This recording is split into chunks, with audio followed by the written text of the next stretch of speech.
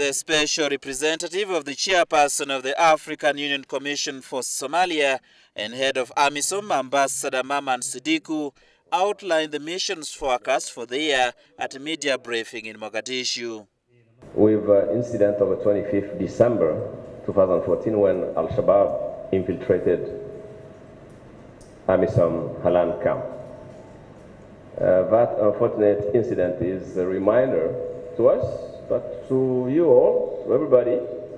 that we are fighting a terrorist organization that is desperate to remain relevant despite the heavy losses, the significant losses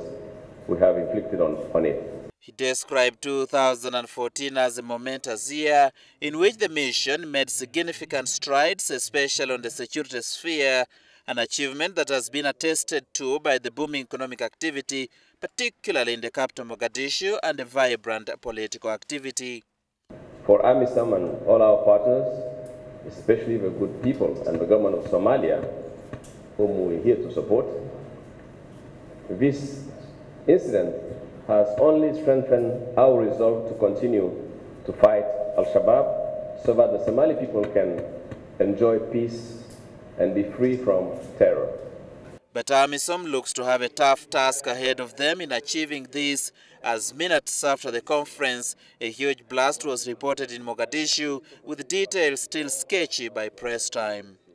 AMISOM pledged continued support to the capacity building and enhancement of the Somali National Army and the Somali National Police Force, which is core to the AMISOM exit strategy, including training and